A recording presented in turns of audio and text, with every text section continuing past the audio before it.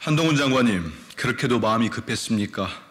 통상 대통령이 먼저 후임자를 지명하고 국회 인사청문회를 거쳐 임명한 뒤 이임하는 것이 수순입니다. 그러나 한동훈 장관은 이런 절차들을 모두 무시하고 사임하겠다니 법무행정의 공백은 하등 상관없다는 말입니까?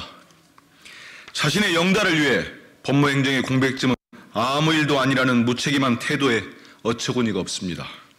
그동안 국회와 국민 앞에서 해왔던 말들은 다 허언이었습니까? 한동훈 장관이 국민의힘 당원과 지지자들이 바라지 않는다면 비대위원장은 물론이고 국민의힘에 입당할 이유가 없다는 입장이라는 말을 들은 것이 고작 이틀 전입니다. 국민의힘 원로들이 한동훈 장관을 이순신 장군에 비유하며 띄워주니 더는 참을 수 없었습니까? 마음이 독해졌다더니 마음이 급하다는 말이었습니까? 아니면 용산에서 하루도 더 미룰 수 없다고 재촉했습니까? 그러나 이런 무책임한 태도로 국무위원직을 사임하면서 대체 국민께는 뭐라고 설명드릴 겁니까?